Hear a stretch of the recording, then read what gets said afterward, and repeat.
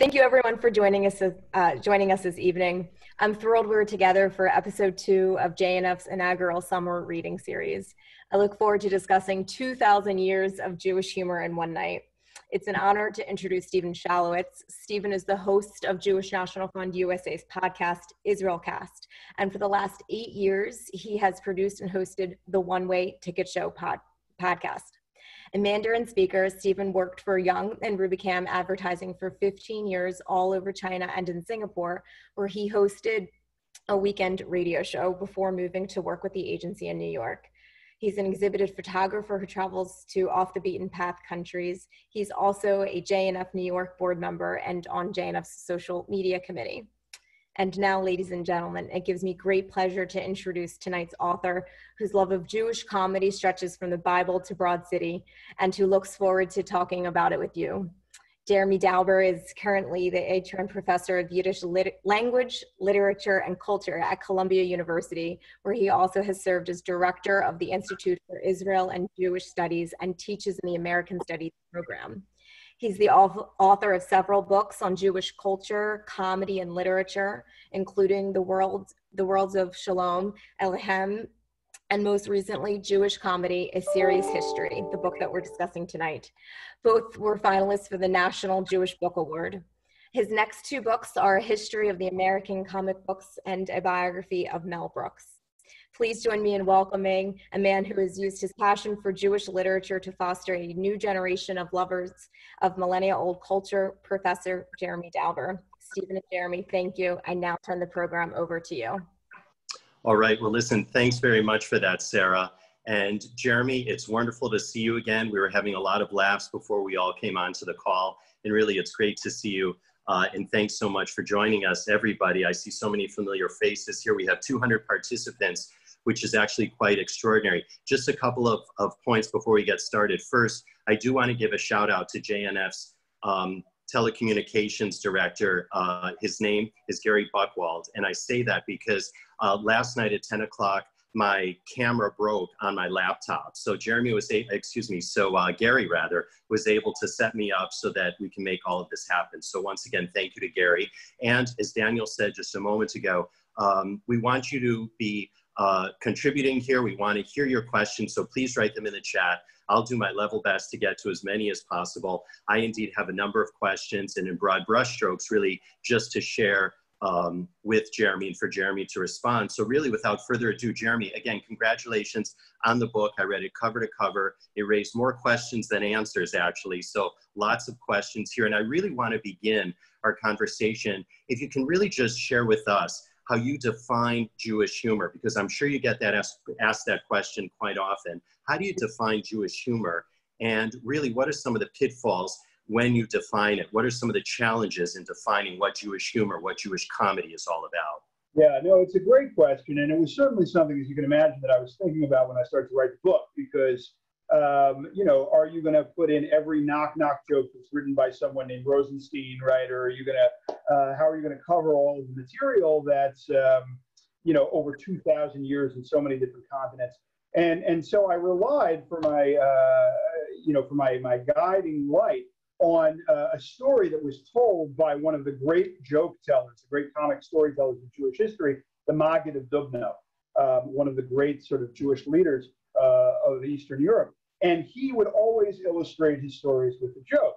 Uh, and and he says to someone once said to him, "Well, how do you always pick the right joke for, for such an occasion?" And he said, "You know what? I'm going to tell you a joke to answer that, that question, and that's that's what I'm going to tell you right now."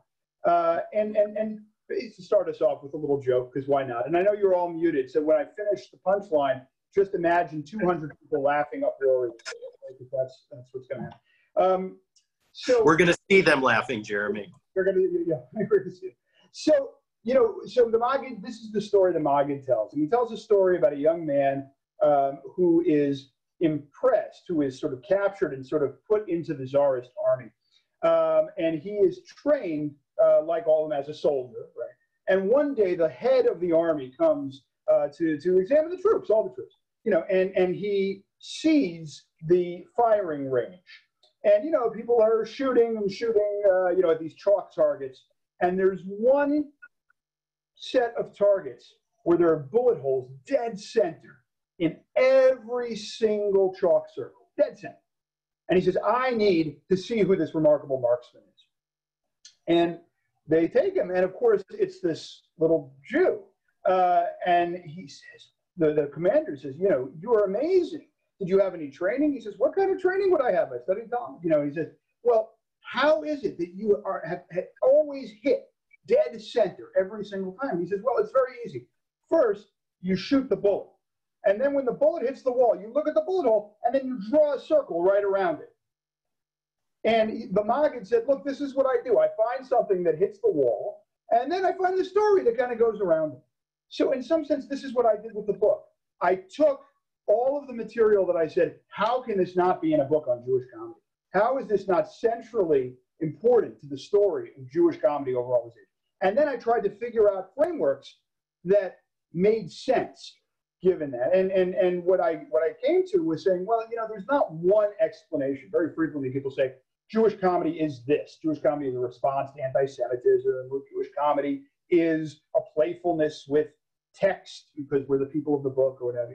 And I said, well, sometimes it's this, and sometimes it's that, and sometimes it's that. And that led to the kind of different frameworks that I thought about uh, in, in, in writing a book about the history of Jewish comedy. It didn't have to be one. And Jeremy, some of those frameworks are what? If you can share, like, what are some of the origins? Just a few to tick off in the interest of time. Sure. Yeah. The interest of time. I talk about seven in the book. We're not going to go yep. through all seven now, but but you know, one of them, of course, is that Jewish comedy can be a response to persecution, right? That it can be a way. This is one of the people I think are very familiar with of coping with anti-Semitism uh, or other kinds of hostility by saying, you know, we're going to turn it into a joke, and therefore, as this sort of marginalized people in the diaspora, we're going to have some kind of control over it by making it into a joke. But there are other kinds too. Um, there is this kind of witty, elusive intellectual play with words that I referred to. There's a kind of satire, both aimed outwards but also aimed inwards at Jewish community. Um, there's a kind of parody, a kind of vulgar wit of the Jewish body, which is also present, even though we don't think about it sometimes. And the last one I'll say is that there's also a kind of comedy of being often disguised and marginal in a larger society, trying to figure out exactly where we as Jews obtain in sort of a society that's much larger uh, than ours. So yeah, because you because Jeremy, you had a very interesting quote in the book. You said parodies are usually told by individuals in the margins. So that really talks to that point, doesn't it? Yeah, I think that's right. I mean, you know, one of the things about a parody, any kind of parody, if it's good, is that it comes with great love of the culture that it's parodying, right? I mean, you know, if you want to make, I'm writing a book on Mel Brooks, as Sarah said, if you want to make a parody Western, you've got to love westerns and watch thousands and thousands of these westerns to get all the details right. But on the other hand, you've got to say, wait a minute, this isn't quite my story either, right? All these cowboys, they're not quite me. Uh, and somehow the combination of these two factors, that attachment, that desire to be part of the culture, and feeling like you know you're not quite part of that culture, well, that's the Jewish story in the diaspora, at least in many ways. And that leads to, but it's also a comedian's story right? Of saying, here's the society, I love it, but I'm also not quite part of it. I look, I stand off to the side, I look a little different. Uh, and, you know, as a result, that Jewishness makes for a very good comic sensibility of parody and of some other things too. In Yiddish culture, in its impact, especially in the context of American comedy and American humor. Yeah, I mean, I think that's, you know, you have a lot of people who, you know, um, are in the original sort of uh, days of American mass culture, American you know, movies, television, radio, you know, who very much come from this Eastern European Yiddish sensibility. Not everyone, but, but a lot of them. Uh, and, and what they're often feeling is the sense of, I want to be an American. I want to be part of this culture. I want to tell these stories that are American stories, but also uh, I'm not quite uh, there myself. And so that juxtaposition makes for this wonderful comic sensibility. It's uh, in the Marx Brothers, you know, when uh, Groucho Marx plays these people with such fake Goyish names that, that they can't be Goyim, right? They can't be Gentiles, but they also can't be Jews either, right? But, you know, in the middle of Hooray for Captain Spaulding, you know, he looks around and he says, Did someone call me Schnorrer, right? We know that, uh, you know, he's not quite clear about the, the framework that he's on, the, the footing that he's on, but that's what makes the comedy. And in the book, you also mentioned, just speaking of using Yiddishisms, in the book, you also talk about Milton Berle and what happened with his wig. Oh, yes. So, you know, one of the stories about the early days of television, this is why, you know, Milton Berle is, I'm sure all of you know, one of the pioneers of early television and very famous uh, for dressing up in women's clothing. Uh, and at one point in these early days of television, which was at that point a much more urban uh, phenomenon than it was as, as the more people bought television sets, his wig came askew. And he said, "Oh, I think my shaitel is falling, right? My, my the East, the Yiddish word for kind of a, a wig worn by traditional Jewish women." Uh, and the audience, as it is told, cracked up because it was an audience of people who were much closer to the demographic in which Berle or, or, or, or Sid Caesar, you know, cut his teeth in the Borscht Belt hotels and the tenements and what have you. This was the many of the writers and, and sometimes a lot of the audience of the of early television, uh, and it was one of the reasons why it felt so profoundly uh, Jewish. Yeah, I want to get to um, the Sid Caesars and of course Carl Reiner in just a short while, but I want to go back sort of uh, from an ecumenical standpoint. What does the Torah really teach us about laughter, and what are rabbinic attitudes towards laughter? Yeah. So, I mean, you know, one of the things that uh, I'm often asked is, you know, where does this book start? Where does Jewish right. start? And I say, you know, all the way at the beginning. It starts in the Bible. And people say, well, is the Bible funny? Uh, there, and I say, well, yes and no.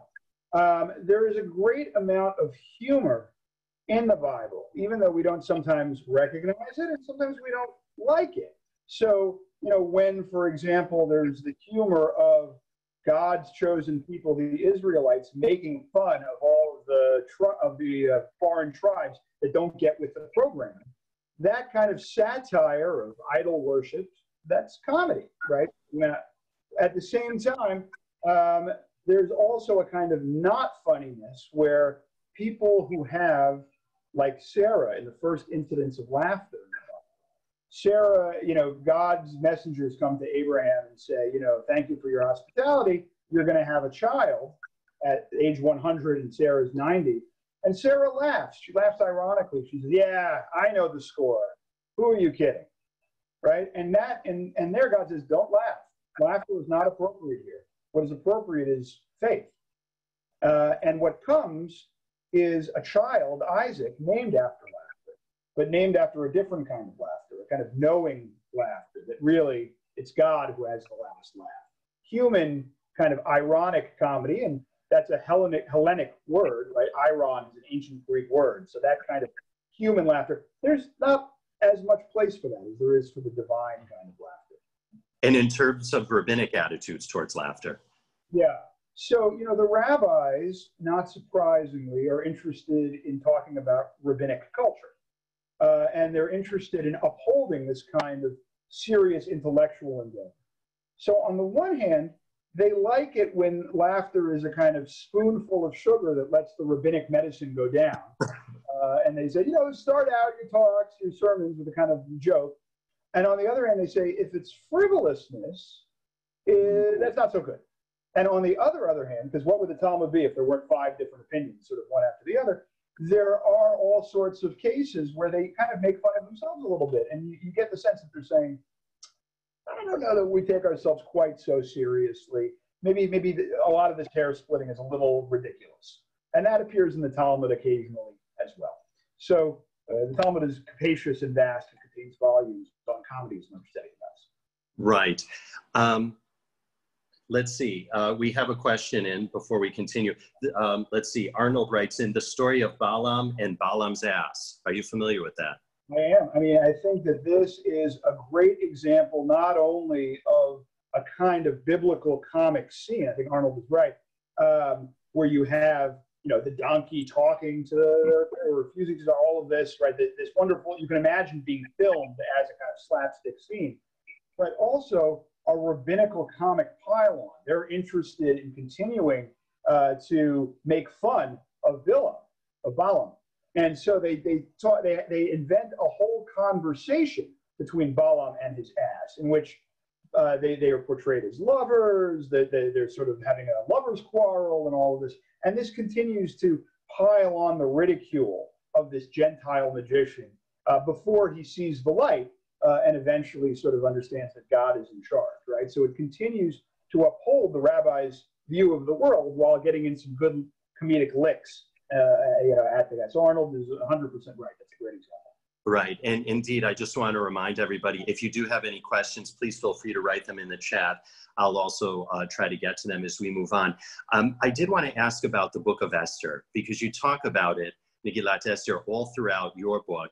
And you talk about it in terms of the disguises that both Mordecai and Esther wore in the book of Esther, and then also the disguises that comedians had to wear in terms of disguising their Jewishness. And I thought that was fascinating. And I had never made that connection, Jeremy. Oh, well, yeah. I mean, I think that one of the things that's remarkable about the book of Esther, and one of the reasons why it becomes such a touchstone for Jewish comedy uh, through, the, through the ages, um, is because uh, not only is it uh, uh you know, told and, and read on our sort of mass, on our holiday that's a carnivalesque holiday that has uh, opportunity to let loose, let your hair down.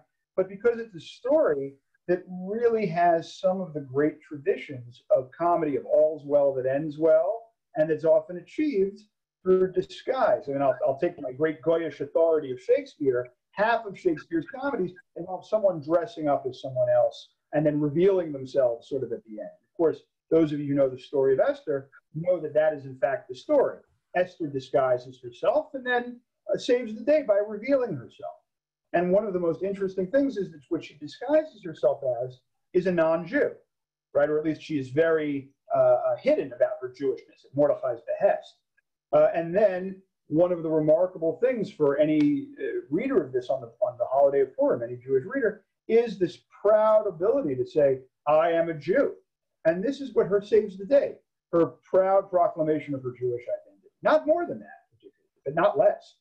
And so that, you know, that disguise is so central to it and that, that revealing of the disguise, like it is in so much comedy. Including in Seinfeld, where the characters are indeed disguised. Uh, their Jewishness is is disguised. Uh, talk about that, and also, by the way, I'd love you to share Brandon Tartikoff's uh, viewpoint on okay. on Seinfeld at the very beginning because he was very lukewarm on on even buying it, wasn't he? That's right, 100. percent Yeah, I mean, he, you know, what's interesting, and we've already talked a tiny bit about this with Groucho Marx, is that sometimes the comedy comes from the fact that it's not a very good disguise, right? It's a disguise, but it's not very good, right? Groucho Marx, can someone call me Schnorrer? You know, how good is that disguise? And this was the case with Seinfeld too, right? Where on the one hand, uh, if you guys recall Seinfeld, watching Seinfeld, you know, um, George Costanza is not Jewish, right? He's Italian. I mean, by the narrative of the show, he's not Jewish, right? The father, Jerry Stiller, who played, you know, his father, said that he believed them to be Jews in a witness protection program, right? So that was his his take. But they're not Jewish. Elaine, who feels again like a kind of very classic stereotypical character in Jewish American comedy, um, is not Jewish. She has shiksa appeal, as one episode famously puts it. She crosses herself. She's not Jewish. And part of that was because, as, as you're saying, um, because of NBC's president, Brandon Tartikoff at the time, who was very, very nervous, even though he was Jewish, was very nervous about having too much explicit Jewish content on, on television. Uh, after Seinfeld, there's a, a whole floodgate of, of explicit Jewish characters. But before that, there really wasn't very much. Um, and so he says, look, we can't have like, you know, we're not very comfortable about this. Uh, and that was part of the reason to, to give these, these other characters this kind of scrim of, of ethnic disguise. Jerry Seinfeld had already, in his stand up routines, which made him famous, he had already uh, been outed, so to speak, as a Jew. So they didn't want to they didn't want to change that. Um, but but these other characters who, if you describe them, you would say, well, he's Woody Allen and she's, you know, a, a Jewish American princess type. Uh, they're not Jewish, technically speaking, but of course. Right. Listen, before before we get to the questions, interestingly though, when you think of the show Friends, yeah. you had Ross and you had Rachel, and you also had um, what was her name? Uh, Ross's sister. Can't think of her name right now. By, played by played by Courteney Cox. I can't think of her name right now. Um, someone write in the chat so I can remember who it was, or you, you tell me, Jeremy. But interestingly, Monica, thank you, Lori Geiger, for sharing that. Monica, there you go. Um, the brain shuts down at eight o'clock and it's 8.23 right now. What can I say? Um, they were Jewish, but they weren't overtly Jewish, right? There was just a hint of, I think as you talk about in the book, like a spritz, right? Like a spritz of, of Jewishness. I want to go to um, the questions now. First of all, thanks to Ken Moskowitz. He wrote The Oven of Achnai and God Laughs. Thank yeah. you for that. And then let's see, we have uh, someone who did not identify themselves wrote, would the Joseph story be a comedy in a Greek comedy in them getting their come up come uppance, kind of a Larry David like everything comes together ending? Well, I'll take I'll take those in order. Um, and thank you both. Thank you for both those questions, uh, both those questions and comments. Um, the oven of Achnai, right, is a uh, this was came up at the point when we were talking about the rabbinic materials, mm-hmm. and it's one of these interesting, uh, very very interesting texts. I actually talk about it in the book, in which God laughs because his his children, essentially, my children have conquered me, saying it's the rabbis who get to interpret divine law on earth. Um, and uh, and not me, right? Because it is the capper to a very long story that I'm not going to tell right now, um, where people are thinking about what the particular law is in this situation involving an oven, and God Himself comes down and says the law is like X, and the rabbis say, eh, "Who asked you? You know, go home," and he laughs. And again, it's it, in many ways it's a kind of laugh like Sarah's laugh that we talked about of saying, uh, I understand. I, I, I have wisdom. You know, I submit here to a higher authority. And what's remarkably audacious about that text, one of the reasons why it's so frequently used in 20th and 21st century uh, uh, rabbinical reform uh, movements, conservative reform movements, is because it really says the power is not divine. Power is now in the rabbis. The power is now in the human. Um, and so it's a remarkably important text, and it's done as a, as a comic narrative. And so I agree. You know, it shows how powerful comedy can be. In terms of the book of Joseph, uh, I think that the book of Joseph is, uh, again, it has the lineaments of classical comedy. I can't remember uh, who said this, uh, the name, I apologize, but, but whoever it was was 100% right. We have a move from, you know, uh, from, from victory to defeat, literally into a pit, back up. It's accomplished through disguise. The disguise is ended by revelation. Uh, and there is even a reunion kind of at the end. All is well that ends well within that narrative. Of course, then uh, a new Pharaoh arises who knows not Joseph, uh, and then the story, you know, takes a different turn uh, in, as we move from Genesis to Exodus. But within the story itself, uh, I think that there is uh, a good bit of this, and you and you know, it's not surprising that when medieval Jews put on plays, comic inflected or orient, comic oriented plays around the time of Purim. The most popular story, perhaps not surprisingly, was the Book of Esther. But the second most popular story, well, the second most popular story was actually Jonah and the whale. But the third most popular story mm-hmm. was the selling of Joseph. Right, that was a play because they understood what, what this uh, person does. The, the, the, the, the comic appeal, the theatrical and comic appeal of that story. Right. I want to go to another. First of all, Lori Geiger, thank you for pointing out that Monica from Friends did have a Christmas tree. I think she was still identified, or she's still identified as being Jewish, but of course she had a yeah. Christmas tree. And uh, before we get to the other question, hi Rachel, and thank you for for writing in the chat, and it's great to see you out there. So thank you for that.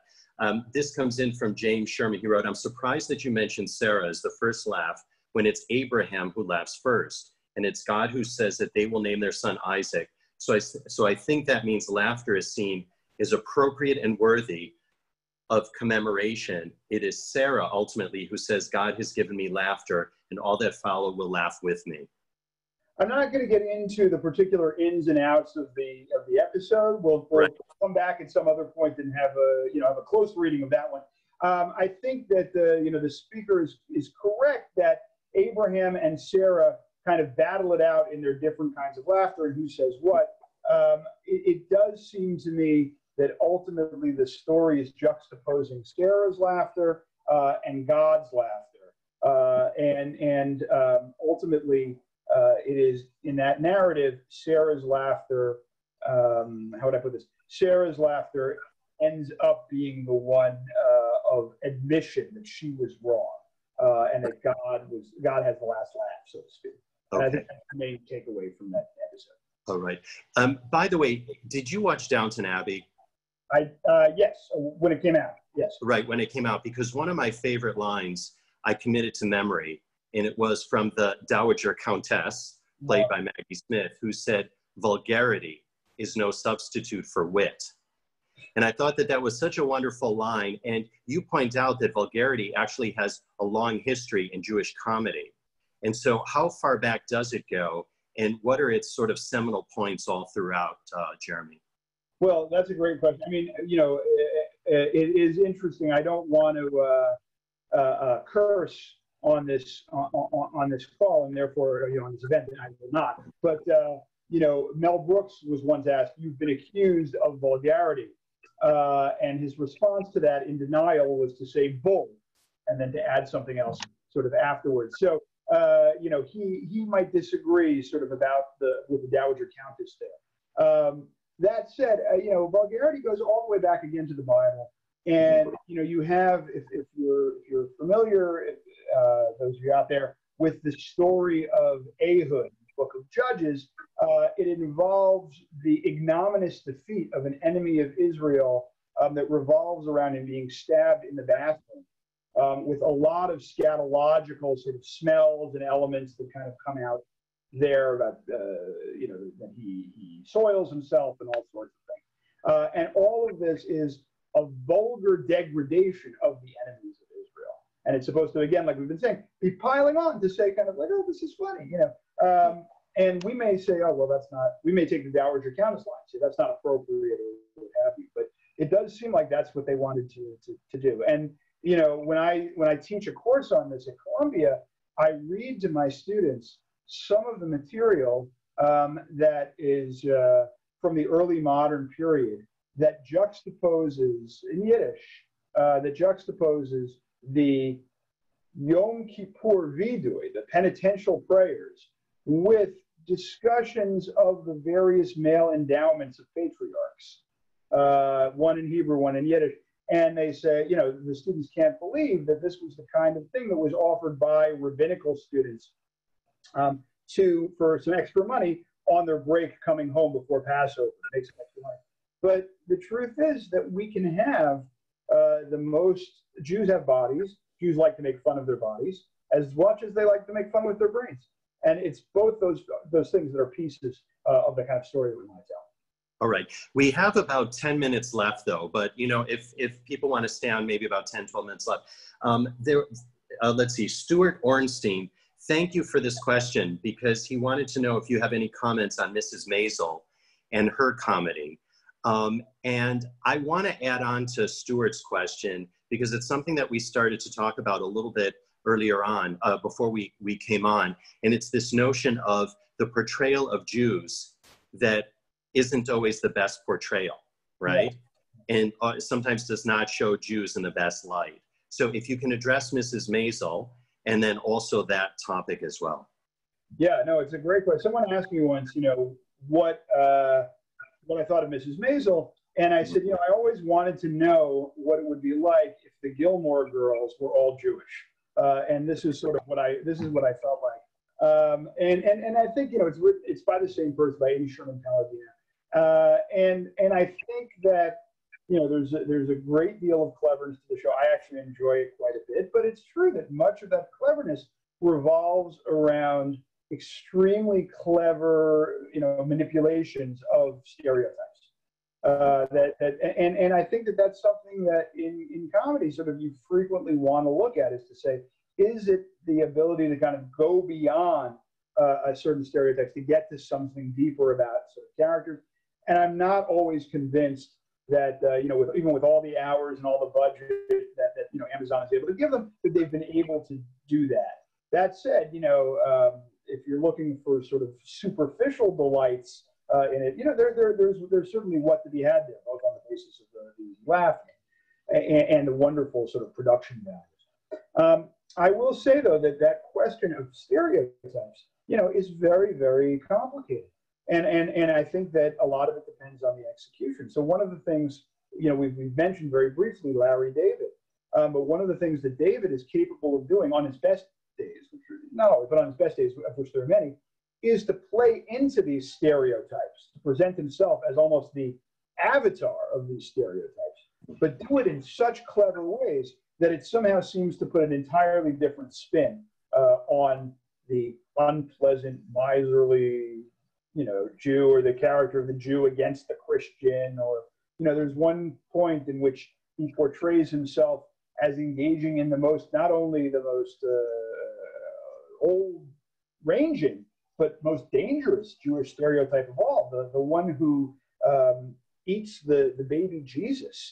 Uh, and he does it in such a clever way. He has a sort of Christmas cookie diorama, um, you know, that his in-laws have put in, his Christian in-laws, and he eats it, that he gets away with it, you know, I think in a remarkable kind of way. So I think that uh, it, a lot of it depends on the execution.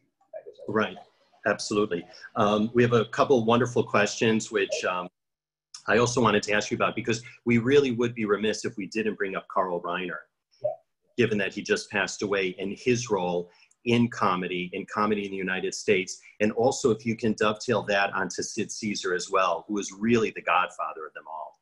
Yeah, well, I think when you know when it comes to television, there's no question that Caesar you know, is, you know, he he shaped I mean, that writer's room. He shaped American Jewish comedy for decades after him. Uh, you know, the, the list. Uh, I think everyone probably here knows this list of people. But um, you know, Caesar, and he was the first to say this. He would say this. He'd take out ads to say it. He would say it. Caesar's enormous, enormous personal talent would not have been nearly as successful without sort of this, this incredible group of writers to shape that kind of raw charisma and physical vitality. Uh, and one of the people who was the most responsible for that was Carl Reiner. Reiner himself was a virtuoso with Caesar, uh, and then with Mel Brooks, of course, in the 2000 Year Man shows, and then later as a director um, on the you know on Dick Van Dyke Show, and then with Steve Martin movies, in taking all of these things and and and and, and like an opera conductor, sort of shaping the tonal color uh, of this stuff in order to provide uh, the comedy to keep it going. He was really an artist, and like a lot of times, uh, you don't necessarily recognize his artistry as much as the big, bold, bright, brassy talent, whether that be you know, Sid Caesar or Mel Brooks. But but Reiner really was, uh, you know, a, a, remarkable genius for finding and understanding the funny uh, and getting to it, and and, and and and you know, shaped fundamentally uh, post-war Jewish comedy as much as as some of the bigger names did. So, so you know, Zachrono Levracha, may his memory be Absolutely, and we want to thank Ira Epstein for for raising that one. Um, also, a word or two about Jack Benny. Deborah Glazer would like to know. Yeah, well, Benny, I think is a fascinating case. Um, not only because uh, you know he is just a great, a great comic figure in his own right. Uh, in the 1940s, his voice was the most rec- This is true. The most recognized voice in radio. The second most recognized voice was Franklin Delano Roosevelt. Okay, so that's how famous he was. Um, and what's interesting is that you read his, his writer's auto, you know, autobiographies, you read some things, is that it was not clear to many of these people who recognized his voice that, that he was a Jewish comedian. So it's one of these interesting bifurcations in the way that people think about sort of these kind of histories in which we say, well, of course, Jack Benny, he had this whole miserly personality that he played of. He was actually, uh, he was the first person to be referred to as a schnook uh, on, uh, you know, on, on, I think on television actually, on the TV show. Uh, of course he was Jewish, right? Of course he was a Jewish comedian. But most people did not, apparently did not think so. And there's actually some interesting kind of proof of this um, where, you know, very on brand for him, he had like a radio contest. And he wanted, the contest was, I want people to write in, to write in why I hate Jack Benny right? So that's Jack Benny's contest, Why You Hate Me So Much, right? That's the kind of character he played. And he told his writers to separate out, he was very worried about this, to separate out any anti Semitic responses that he got. And the contest garnered about uh, 150,000, I don't remember the exact number, but you know, well over 100,000 responses. And of all of those, three of them were anti Semitic. And the writers say, like, we don't think this is because there were only three anti Semites out there in 1940. We think it was because a lot of people didn't recognize him that way. So it's this great question about some of the character, and I would get this when I started lecturing about Seinfeld many years ago, where people would say, "Well, it's how Jewish really is Seinfeld as a show," and you know, people would say, "Well, uh, of course it was," and other people would say, "No, it's not Jewish at all. It's just New York. You know, it's just these crazy urbanites." Right. So, I have to tell you, you know, we opened up the floodgates to the chat and to questions, and we have some wonderful, wonderful questions. And I really apologize to everybody that I don't think, in the interest of time, we're going to get to everyone. But if I think if we spend maybe about five or so more minutes, you know, five, six more minutes, if everyone's okay with that, we'll just try and sort of field them. And I think I'm just going to throw some names out at you in the interest of time, so that you can just respond to them. Um, and I'm, uh, let's see, um, we've had several people asking about Joan Rivers. And I think if you talk about Joan Rivers, can you um, talk about the context of Joan Rivers vis-a-vis the the scope of female comedians, female Jewish comedians?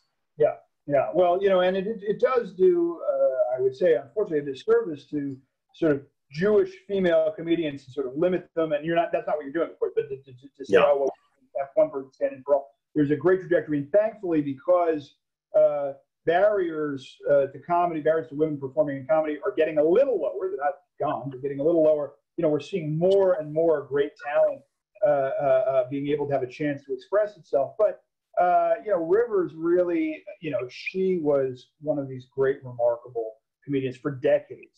And you know, she one of the things that I think was was was amazing about her was that she, from a very early period, understood that not only the power of talking about your life, but that your life changed over the years and the decades that you performed. And she was very fearless and open about first portraying herself as uh, a young Jewish woman who um, whose parents all they all they wanted for her was to be sort of normal, and by normal for her that in her act at least that meant married, right? Uh, you know, she would sort of have these signs, the last Jew on freeway that the mother would put up, you know, kind of thing. Um, and then as she got older, saying, you know, one of the things about being a woman, right, is, uh, you know, my openness to sexual desire, but also the fact that my body is not what it once was. And, and she was very open about the struggles that she had uh, with, with, with how she felt about how she looked. Uh, and, and, and I think, you know, what, what it made her was not only an inspiration to generations of comedians, Jewish and non-Jewish, but really one of the most fearless uh, of the comedians of the stand-up comedians. Uh, um, you know, and really not you know, you know not being afraid to say anything about herself uh, and how she looks. So, so I, you know, I'm a tremendous admirer of Rivers. Right, and she was inspired by Lenny Bruce, wasn't she? She was. I mean, she, you're absolutely right. She was. She she said, you know, in, in some ways, it's hard to think about uh, two two comedians that are that are that are more different. But on the other hand, by the way that I've been introducing it, you can really see the similarities of her saying Bruce was fearless about putting himself in the act uh, I, I have to tell my truth. Uh, and Bruce was very inspirational in that way. Sure, and and um, some of our wonderful group members pointed out other women comedians. We had, of course, Totie Fields. We had Gilda Radner, um, and so many. Uh, Molly Goldberg, for example, right? And that's a whole. Molly Goldberg. Yes, please go ahead. Because Goldberg, I mean, Goldberg, you know, all of these women that, that, that have been mentioned really are, are great talents. But Goldberg, I think, you know, uh, in, in, let's say, this generation, certainly of my students, uh, is really unknown. And this is a crying shame because not only was she just a remarkable uh, uh writer and a remarkable performer, but she was, uh, you know, a fearless entrepreneur and, and, and challenged, you know, she took her own destiny into her hands. Um, when she pitched a, a, story, this is a great, a great narrative, she pitched her own sort of show. She made sure to write it in, in bad handwriting. She hand wrote the pitch so that no one could read it except for her. So she had to be in the room in order to read it. And then she performed it so well that they said, hey, why don't you play this person? She said, you know, I thought you'd never asked, kind of thing. Um, and, and, and, and she was a, a, major behind the scenes person in television, first in radio and then television, when, uh, you know, it was very rare for women to be that. And, and, and so just a remarkable figure uh, that needs sort of cherishing. Right. I think just in the interest of time, I think let's just get to two more points. One is Borscht and the second one is Norman Lear and his place in the comedic tradition, both from the Jewish standpoint, but also in the American comedic tradition. Yeah. So first go with Borscht Yeah, so I, you know, they both come, even though they're they're not exactly identical, they both come of a piece, which is Jewish specificity becoming American generality. Right. So you know, you have uh, the early days of television, you know, you have people saying, look, this is a New York based institution, it's live, um, it, it looks a lot like variety shows, but it needs to be new every week. Who do we know that's kind of nearby who's used to putting on first class entertainments for a very demanding audience every week? And they just looked up to the Catskills and they said, you know, and just on a constant basis. I mean, they were just churning out so many skits and routines, weren't they? Yeah, I mean, to be able to say, you know, with your show of shows, we're putting on 90 minutes of new material, you know, every every week. Just, you know, it's an incredible, it's an incredible achievement.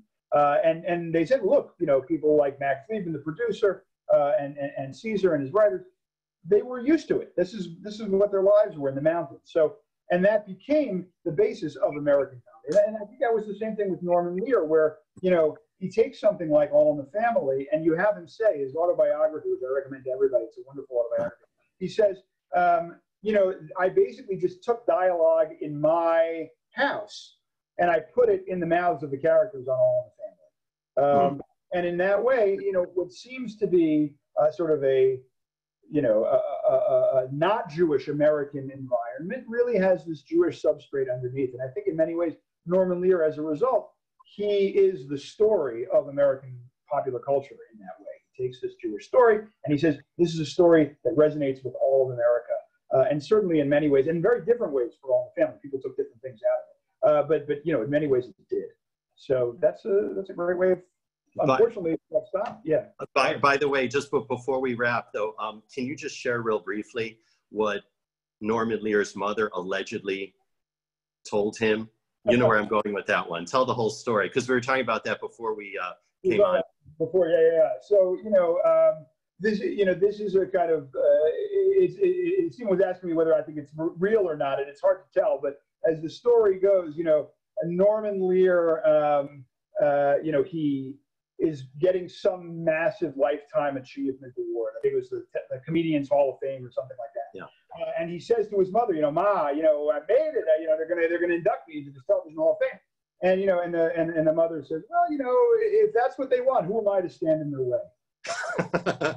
this is, you know, again, is this sort of just a Jewish mother, or is this? But you know, one of the things that they say about comedians uh, very frequently is that they're looking for love. They look for love from their audience. They look for love for, from, from you know from all from from entertaining America uh, and entertaining the world. Uh, and uh, you know maybe you could see a little bit of a key of that there.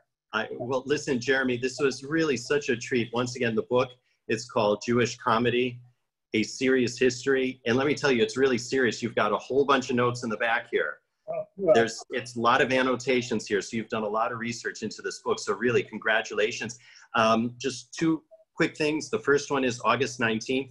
We have our next book group. It's uh, the Ten Commandments of Character. Rabbi Joseph Telushkin is the featured author. So do sign up for that. And Jeremy, really, before we wrap and hand it over to Sarah, can we ask you just to tell another joke? Uh, okay, sure. You know, I'll tell one. I'll tell one very quick joke because I know it's sure. You know, late and it's you know it's right. But uh, it is a joke and that Milton. Berle well, by the way, you know what they say about Jews. Jews, what do they say? Jews um, say goodbye but never leave. We were going to leave about 10 minutes ago, so there you go. There you go. Yeah, yeah. Um, so, you know, this is a joke. We mentioned Milton Berle before. Apparently, I've been told this is a joke that he liked to tell. Uh, and it is a joke, as he, as, as I've been told that Berle told it, uh, about uh, Dwight Eisenhower uh, and the President Dwight Eisenhower, and that he took a trip to Israel. Uh, and in this, you know, and, and in this trip, uh, he's met by, of course, David Ben Gurion, the prime minister, and Ben Gurion asks him if he would like to see the tomb of the unknown Jewish soldier. Uh, and Eisenhower says, well, you know, of course. I mean, I'm a general. I was a general myself. I'd like to see, uh, you know, I'd like to see this tomb. And, and you know, it, it, it, they said, okay, so, so Ben Gurion takes him to, to uh, the graveyard and the cemetery, and he takes him in front of this gigantic tombstone, and it says, here lies Hyman Rosenfarb Furrier. And, you know, Eisenhower is a little bit taken aback. He says, you know, I, I thought you said this was the tomb of the unknown Jewish soldier. And, you know, uh, Ben Gurion says, well, yes, as a soldier, he was unknown, but as a furrier, he was fantastic. Thank you all very much for your time. Thank you, Jeremy. Okay, listen, thanks everybody, and over to you, Sarah. Thank you. Thank you all for joining tonight. Um, it was incredible. I laughed, um, uh, definitely smiled a lot tonight. So thank you so much, Jeremy, and thank you, Steven, for hosting. Um, and thank you all for joining tonight's conversation. Uh, we hope you enjoyed tonight's uh, programming. There's one more episode, as Steven mentioned, um, in the summer reading series. It's August 19th, same time, 8 p.m. Eastern the 10 commandments of character essential advice for living an honorable ethical honest life with rabbi joseph Telushkin. Uh, please buy your books on amazon smile to support jnf and register today. Jewish national fund is helping meet the urgent needs brought about by the time of uncertainty and change and your support is needed now more than ever. Please consider donating today. There's a donate link in um, in the chat Again, thank you all for joining. Please feel free to check out IsraelCast. is again hosted by Steven, and this will be recorded and shared on JNF's YouTube page um, tomorrow. Thank you again so much for joining, and um, until next time, take care.